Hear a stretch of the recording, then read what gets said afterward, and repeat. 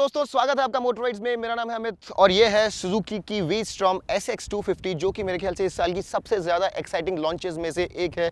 आप में से बहुत सारे ऐसे लोग हैं जो कि एक डू ऑल वर्सेटाइल मोटरसाइकिल की तलाश में रहते हैं और चाहते हैं कि एक ऐसी मोटरसाइकिल हो जिसकी प्राइस भी अच्छी हो, जो एक बहुत ही रेप्यूटेड मैन्युफैक्चरर से है रिलायबल हो, देखने में अच्छी लगे और साथ ही वो सब कुछ कर पाए, जो कि आप एक मोटरसाइकिल से चाहते हैं। तो दोस्तों, ये उस तरह की एक मोटरसाइकिल है।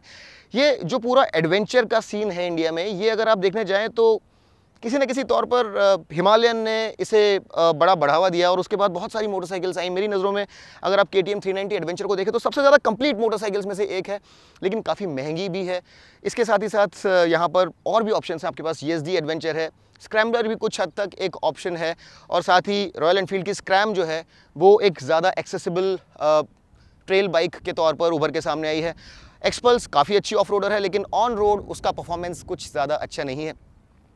तो इन सारी मोटरसाइकिल्स के बीच कहीं ना कहीं ये जो एक गैप था, उसे K T M adventure to ने भरने की भी कोशिश करी, जो कि एक ज़्यादा केपेबल ऑन रोड मोटरसाइकिल है ऑफ़ रोड भी ठीक ठाक है, लेकिन वो ज़रा महँगी है। सो हालाँकि यहाँ पे बहुत सारी मोटरसाइकिल्स अवेलेबल हैं, लेकिन कहीं ना कहीं कुछ छोटी मोटी कमी किसी न किसी मोटरसाइकिल में रही जाती है। उस तरह की कमियों को पूरा करने के लिए ये वी स्ट्रॉम यहाँ पर प्रस्तुत की गई है। अब इससे पहले कि हम आगे बढ़े, मैं एक बात बड़ी क्लियर कर देना चाहता हूँ कि ये एक out and out off roader नहीं है। अगर आप एक ऑफ़ रोडर चाहते हैं, यानी कि अगर आप काफ़ी डिमांडिंग ऑफ़ रोडिंग करना चाहते हैं तो मेरे ख्याल से जो हिमालयन है वो काफ़ी केपेबल मोटरसाइकिल है। और अगर आप देखने जाएँ तो एक्सपल्स भी purely as an off roader काफ़ी केपेबल है। यहाँ पर जो बायस है वो ज़्यादा रोड की तरफ़ है। ये मोटरसाइकिल सॉफ्ट रोडिंग भी कर सकती है। और ये मैं क्यों कह रहा हूँ, ये मैं आपको कुछ देर में बताता हूँ तो चलिए शुरू करते हैं स्टाइलिंग के साथ, और ये मोटरसाइकिल अगर आप देखने जाएँगे तो डिज़ाइन के मामले में, स्टाइलिंग के मामले में बड़ी ही ज़बरदस्त है और देखने में बहुत ही खूबसूरत लगती है। वी स्ट्रॉम थाउज़ेंड जो कि इंटरनेशनल मार्केट्स में बिकती है, उससे ये अपनी स्टाइलिंग लिए हुए है। और आप कलर स्कीम की बात कर लें या फिर इसके साइज़ की बात कर लें, देखिए, देखने में कितनी ये बड़ी लगती है। मैं इसके समकक्ष अगर खड़ा होता हूँ तो इसका जो साइज़ है, बहुत बड़ा है। और अगर आपको एक ऐसी मोटरसाइकिल चाहिए, जो आपके पैसे के लिए आपको सबसे बड़ा साइज़ दे तो ये मोटरसाइकिल मेरे ख्याल से सबसे ज़्यादा अपीलिंग मोटरसाइकिल्स में से बन एक आएगी। काफ़ी प्रीमियम काफ़ी इंटरनेशनल लगती है, और मुझे इसकी स्टाइलिंग बहुत पसंद आई। बहुत ही प्रीमियम बहुत ही अच्छी लगती है देखने में।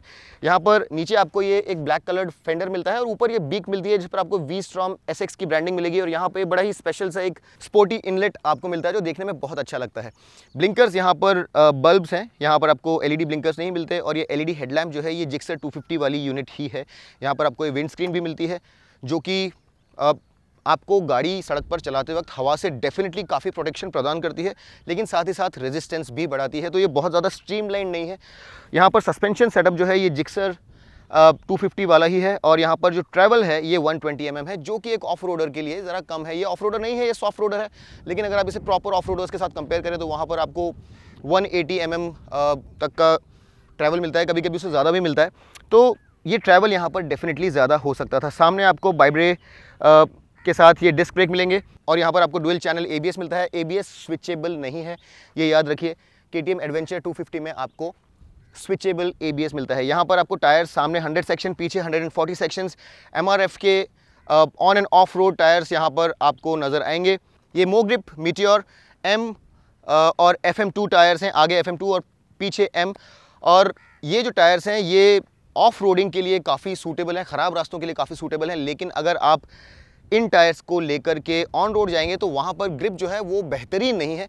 जो रोड बायस टायर्स होते हैं, उनके जितनी ग्रिप आपको नहीं मिलती है स्पेशली जब आप हार्ड ब्रेकिंग करते हैं या फिर अगर आप कॉर्नर्स पर गाड़ी को लेटा करके चलाना चाहते हैं तो वहाँ पर आपको ये महसूस होता है कि ये टायर्स ज़रा और बेहतर हो सकते थे। बट ऑफ़ रोड जब आप जाते हैं तो आपको इनके एडवांटेजेस जो हैं, वो महसूस होते हैं। अब ग्राउंड क्लियरेंस यहाँ पर बहुत ही ज़बरदस्त है। टू हंड्रेड फाइव एम का ग्राउंड क्लियरेंस है, अगर आप इसे जिक्सर के साथ कंपेयर करें तो वहाँ पर सिर्फ़ 165 mm का ग्राउंड क्लियरेंस मिलता है। साथ ही यहाँ पर आपको सॉलिड मेटल की बैश प्लेट भी मिलती है। तो उन सब चीज़ों का यहाँ पर ध्यान रखा गया है। खराब रास्तों पर आप इस मोटरसाइकिल के साथ बहुत ही कॉन्फिडेंटली जा सकते हैं। अब जिक्सर के ऊपर यहाँ पर जो चेंजेस किए गए हैं, उसकी हम लोग अगर बात करें तो जो इंजन जो है, ये सेम है। यहाँ पर इंजन सेम है गेयरिंग सेम है, सब कुछ सेम है।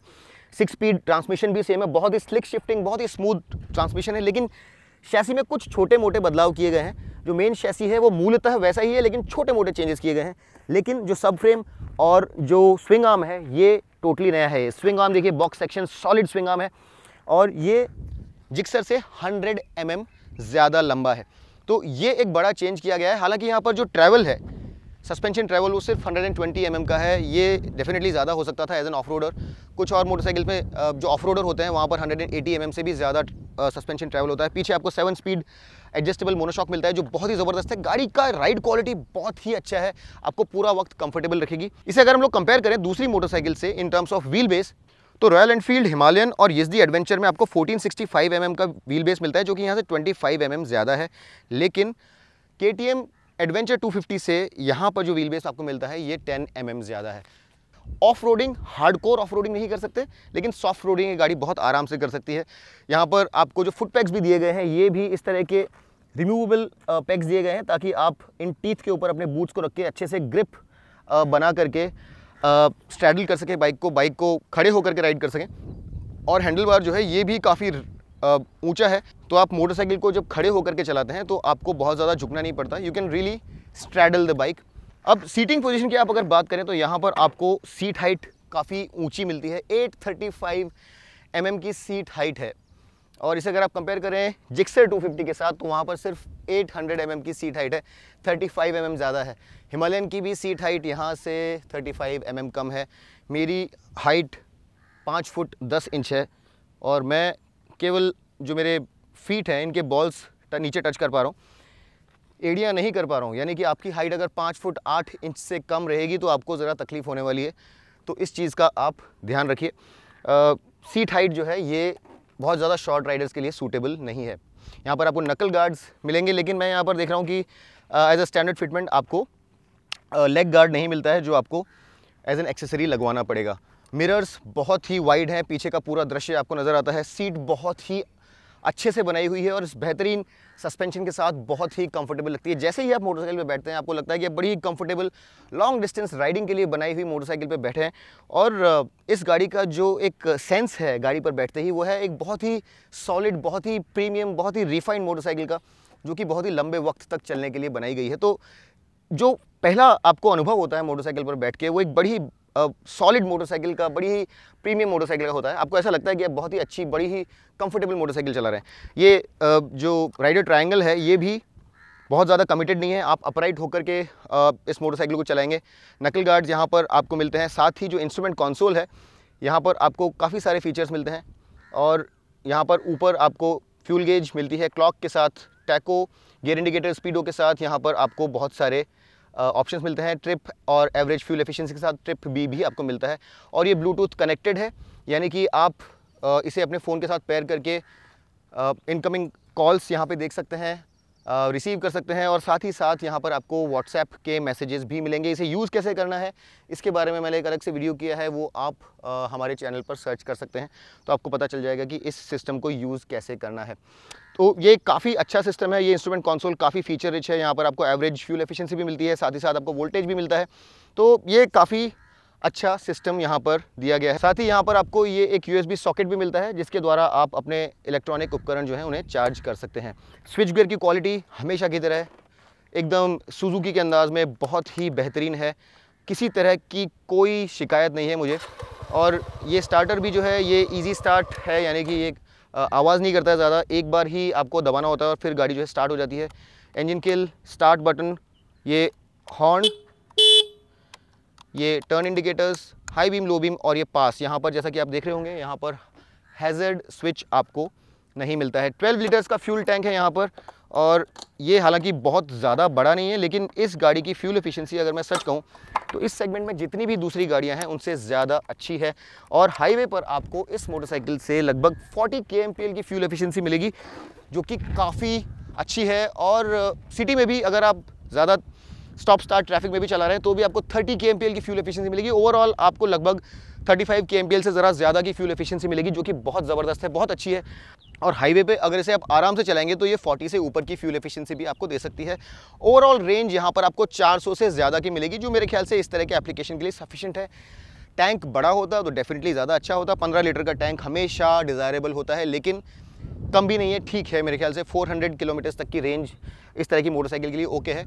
बड़ा हो सकता था लेकिन आ, मेरे ख्याल से ये डील ब्रेकर नहीं है। पीछे वाली सीट आगे वाली सीट की तरह ही बहुत ही अच्छे से बनाई हुई है। टू टोन यहाँ पे आपको कलर मिलता है एस एक्स ब्रांडिंग मिलती है, लेकिन ये काफ़ी ऊँची है। ये 835 थर्टी mm है तो यहाँ पर और भी ऊंचाई आप जोड़ लीजिए, और आप में से जो छोटे कद के लोग हैं, उन्हें इस चौड़े ग्रैब रेल और स्टे के कारण आपका जो लेग है, वो काफ़ी स्विंग करना पड़ेगा। लेकिन एक बार बैठ जाने के बाद में ये जो सीट है, ये काफ़ी उपयोगी है, और यहाँ पर ये ग्रैब रेल भी काफ़ी यूज़फुल है। यहाँ पर फिंगर स्लाइड करने के लिए आपको जगह मिलती है। तो इस सीट को आप मीडियम जर्नीज़ के लिए फॉर अ पिलियन भी यूज़ कर सकते हैं। ऊँची है, लेकिन एक बार बैठ जाने के बाद में जो कंफर्ट है ये ख़राब नहीं है। यहाँ पर एक टॉप बॉक्स के लिए भी जगह दी गई है और बहुत ही प्रैक्टिकली इस आ, पीछे वाले सेक्शन को बनाया गया है। टेल लाइट्स यहाँ पर एलईडी है लेकिन ब्लिंकर्स पीछे भी आपको बल्ब मिलते हैं। एक और ख़ास बात यहाँ पर जो टेल सेक्शन है ये टू टोन में आपको मिलता है तो ये देखने में भी काफ़ी अच्छा लगता है। यहाँ पर ये सारी गार्ड भी बहुत ही स्पेशल डिज़ाइन का दिया गया है और ये देखने में ज़रा वियर्ड लगता है। जो गाड़ी का पूरा कैरेक्टर है उसके साथ ये पूरी तरह से मैच नहीं करता। एक और बात, यहाँ पे टायर जो हैं, ये ट्यूबलेस हैं। आपको अदर ऑफ़ रोडर्स की तरह स्पोक व्हील नहीं मिलते, लेकिन इसका एडवांटेज ये है कि आपकी गाड़ी अगर पंक्चर होती है तो बहुत इजीली रिपेयर हो जाएगी। इनफैक्ट मैं प्रेफर करता हूँ कि अगर आप हार्ड कोर ऑफ़ नहीं करते तो अलॉय व्हील जो है, यही एक ज़्यादा बेहतर चॉइस होता है। अब यहाँ पर जो मफलर है, ये आपने जिक्सर पर भी देखा होगा। चलिए हम इस गाड़ी को फायर कर लेते हैं और देखते हैं कि इसकी साउंड कैसी है।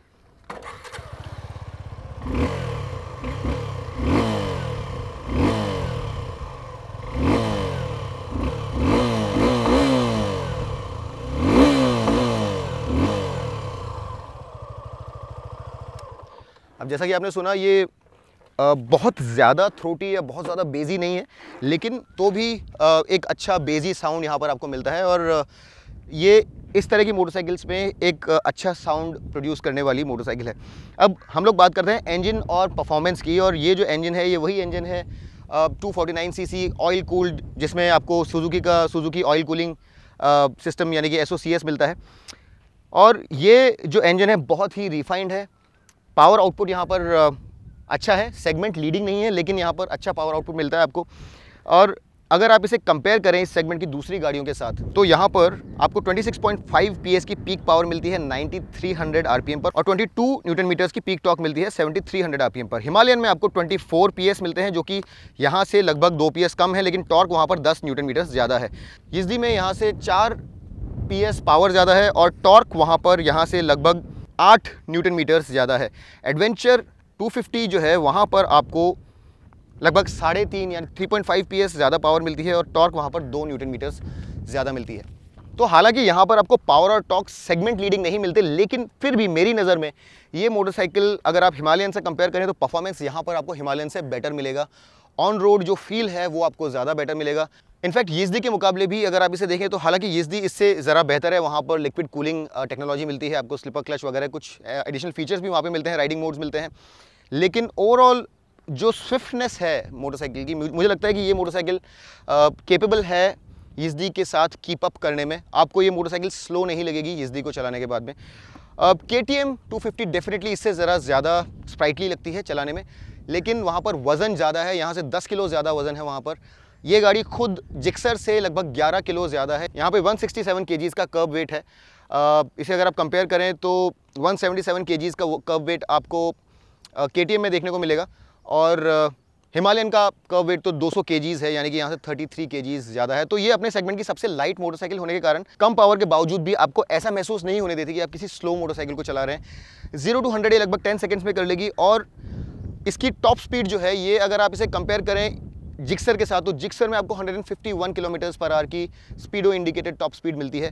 यहाँ पर ज़्यादा वज़न और इस एडिशनल एयर रेजिस्टेंस के कारण आपको जो टॉप स्पीड है, वो ज़रा कम मिलेगी। 145 किलोमीटर्स पर आर तक की टॉप स्पीड आपको इस मोटरसाइकिल पे मिलेगी। अब रेजिस्टेंस की मैं जब बात कर रहा हूँ तो ये विंड स्क्रीन जो है, ये डेफिनेटली आपको मदद करती है।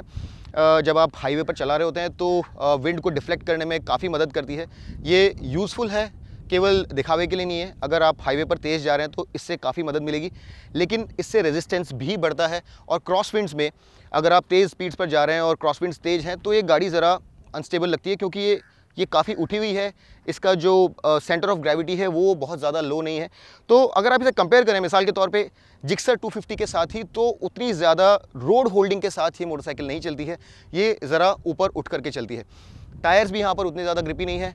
एक और चीज़, ब्रेक्स यहाँ पर डेफिनेटली थोड़े और बेहतर हो सकते थे। यहाँ पर जो फ्रंट ब्रेक्स हैं, इसमें थोड़ी और बाइट मेरे ख्याल से हो सकती थी। अगर आप रोड गोइंग मोटरसाइकिल्स की बात करें, जो कि स्ट्रीट के लिए बनी है, जैसे अगर मैं कंपेयर करूँ जिक्सर 250 के साथ में भी तो वहाँ पर भी ब्रेकिंग यहाँ से बेहतर है। के टी एडवेंचर 250 में भी ब्रेकिंग यहाँ से ज़रा बेहतर है। हालाँकि हिमालयन और यजदी के मुकाबले यहाँ पर ब्रेकिंग आपको ज़रा बेहतर मिलेगी। बट ओवरऑल ब्रेकिंग थोड़ी और बेहतर हो सकती थी। अब परफॉर्मेंस की ही हम लोग अगर बात करें तो यहाँ पर जो लो एंड टॉर्क है, वो ठीक ठाक है मिड रेंज भी अच्छा है, लेकिन जो एक ऑफ़ रोडर की खासियत होती है, एकदम bottom of the rev range में जो टॉर्क की ज़रूरत होती है, वो यहाँ पर ज़रा मिसिंग है। हिमालयन में ये टॉर्क आपको सबसे ज़्यादा मिलती है, जहाँ पर आपको रेव करने की ज़रूरत ही नहीं पड़ती है और इमिडिएटली आपको थ्रस्ट मिलता है ताकि आप ऑफ़ रोडिंग कंडीशंस में भी हाई गियर्स में आराम से मोटरसाइकिल को चला सकें। यहाँ पर आपको ज़रा रेव करना पड़ेगा और 2500 आरपीएम के बाद आपको ठीक ठाक जो थ्रस्ट है मिलना शुरू होता है नॉकिंग बंद हो जाती है। और फाइव थाउज़ेंड आर के बाद आपको काफ़ी स्ट्रॉन्ग पुल महसूस होता है और ये गाड़ी जो है ये ten thousand five hundred R पर, जहाँ पर लिमिटर कट इन होता है, वहाँ तक बिल्कुल स्मूथली रेव करती है। काफ़ी लीनियर तरीके से, काफ़ी स्ट्रॉन्ग मिड रेंज है यहाँ पर। लेकिन एकदम bottom of the rev range में जो टॉर्क आपको ऑफ़ रोडिंग के लिए चाहिए, उतना ज़्यादा स्ट्रॉन्ग यहाँ पे नहीं है। ये कहने के बावजूद इसका लो एंड टॉर्क ठीक ठाक है, बुरा नहीं है। और ट्रैक्टेबिलिटी की अगर मैं बात करूँ तो आप इस मोटरसाइकिल को सिक्स गियर में 45 किलोमीटर्स पर आवर की स्पीड से चला सकते हैं। वहाँ से ये गाड़ी पुल करना स्टार्ट कर देती है। फिफ्थ गियर में 35 किलोमीटर्स पर आर की स्पीड के बाद ये बड़े आराम से पुल करती है और फोर्थ गियर में 30 किलोमीटर्स पर आर के बाद आप इसे आराम से चला सकते हैं। अगर मैं गियर स्पीड की बात करूँ तो फ़र्स्ट गियर में 54 किलोमीटर्स पर आर सेकंड गियर में 80 किलोमीटर्स पर आर और थर्ड गियर में एक्जैक्टली 100 किलोमीटर्स पर आर की स्पीड आपको स्पीडों पर देखने को मिलेगी। अगर ये थर्ड गियर में हंड्रेड क्रॉस करती तो इसका ज़ीरो टू हंड्रेड टाइम जो है वो ज़रा और बेहतर हो सकता था। बट ओवरऑल परफॉर्मेंस के लिहाज से मुझे इस गाड़ी से कोई शिकायत नहीं है। इसका रिफाइनमेंट भी बहुत अच्छा है। किसी भी गियर में अगर आप इसे आराम से चला रहे हैं तो आपको वाइब्रेशंस महसूस नहीं होते। इनफैक्ट हायर गियर्स में तो आप इसे हायर रेव्स पे भी चलाते हैं तो आपको वाइब्रेशंस महसूस नहीं होंगे। लेकिन जो पहले तीन गियर हैं, उसमें अगर आप इसे रिप कर रहे हैं, जैसे अगर बहुत ज़्यादा तेज़ी से एक्सेलरेट करना चाह रहे हैं तो आपको mild vibration six and half thousand R के बाद सीट और फुट पैग्स पर माइल्ड वाइब्रेशंस महसूस होते हैं। अगेन याद रखिए कि ये आपको बहुत ही माइल्ड वाइब्रेशंस बहुत तेज़ी से जब आप पहले तीन गियर्स में एक्सेलरेट करें, तभी महसूस होंगे। इसके साथ ही साथ यहाँ पर अगर आप मिसिंग फीचर्स की बात करें तो आपके पास स्लिपर क्लच नहीं है, जो कि आपको के एडवेंचर में मिलता है 250 में, लेकिन वहाँ पर कीमत भी ज़्यादा है, ये आप याद रखिए। फ्यूल एफिशिएंसी मैं आपको बताई 40 kilometres on the highway and 30 kilometres in stop start city traffic तो फ्यूल एफिशिएंसी यहाँ पर बहुत अच्छी है।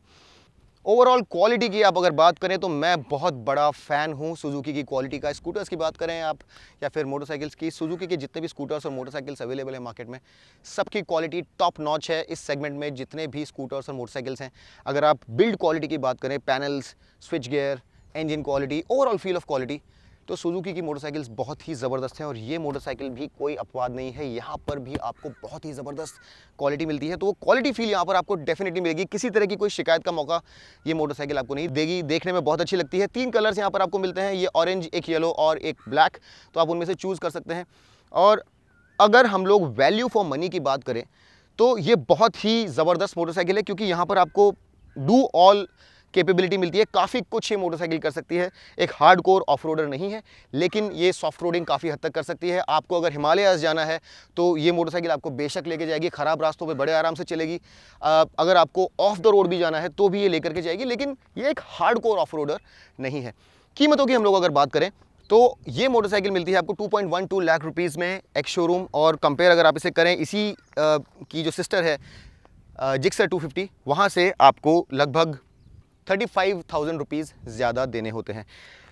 कंपेयर करते हैं इसे हिमालयन के साथ तो हिमालयन की कीमत जाती है 2.22 लाख रुपीज़ तक एक शोरूम जो कि है इसे दस हज़ार रुपया ज़्यादा।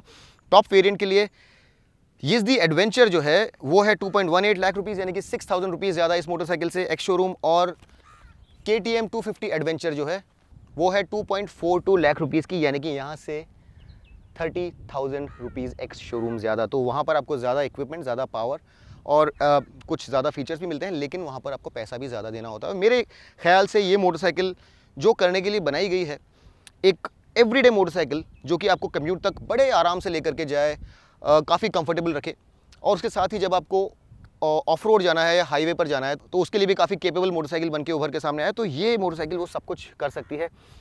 On the road road holding जो है अगर आप इसे बहुत ही ज़्यादा घुमावदार रास्तों पर बहुत ही स्पोर्टली चलाना चाहते हैं तो उस लिहाज से obviously this being an adventure motorcycle ये उतनी ज़्यादा केपेबल नहीं है।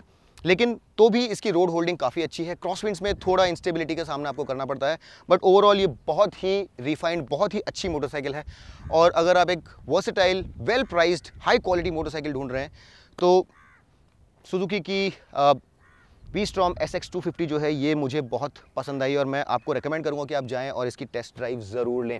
अगर आपको ये वीडियो पसंद आया तो लाइक करना बिल्कुल मत भूलिए सब्सक्राइब कीजिए और ये वीडियो अगर आपको अंग्रेज़ी में देखना है तो हमारे अंग्रेज़ी चैनल पे देख सकते हैं। आपका प्यार ही हमें मोटिवेट करता है। जब तक आप लाइक सब्सक्राइब या कमेंट नहीं करते, तब तक हमें पता नहीं चलता कि आपको हमारा कंटेंट पसंद आया कि नहीं। तो ज़रूर इस वीडियो को लाइक कीजिए। अपना प्यार हम पे यूँ ही लुटाते रहिए। और इसे अपने दोस्तों के साथ फेसबुक या व्हाट्सएप पर शेयर करना भी न भूलें। अगली बार तक के लिए मैं आपका दोस्त अमित आपसे विदा लेता हूँ। तब तक के लिए rev hard rev free and ride safe